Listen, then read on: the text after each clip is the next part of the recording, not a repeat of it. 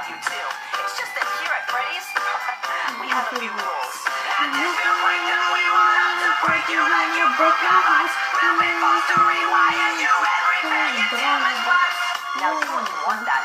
And frankly, neither would I. But sometimes the news too good, you've gotta be the bad guy! In this world we play, we know that you will stay.